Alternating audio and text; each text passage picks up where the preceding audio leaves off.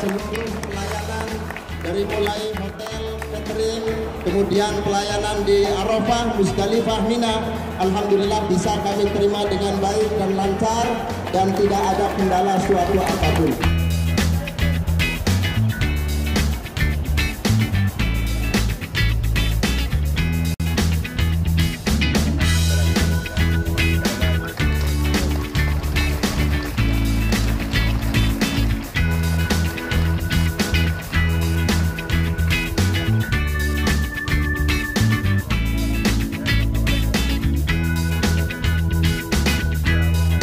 Alhamdulillah tentu saya selaku Menteri Agama yang juga Amirul Hajj amat sangat bersyukur bahwa hari ini, sore ini bisa ikut melepas eh, keberangkatan JKG 63 sebagai kloter terakhir yang akan meninggalkan eh, Tanah Suci, Kota Madinah menuju Tanah Air.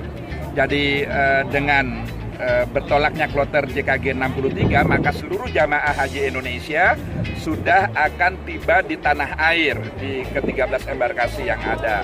Dan tentu ini sesuatu yang patut kita syukuri karena eh, alhamdulillah haji penyelenggaraan haji tahun ini bisa berlangsung dengan lancar dengan sukses.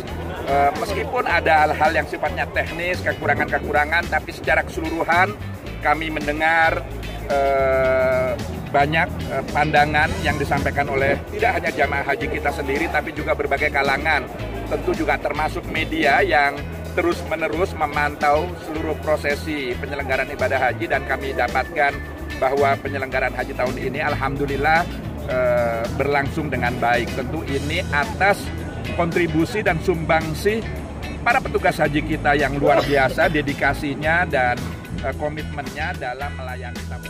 Ya.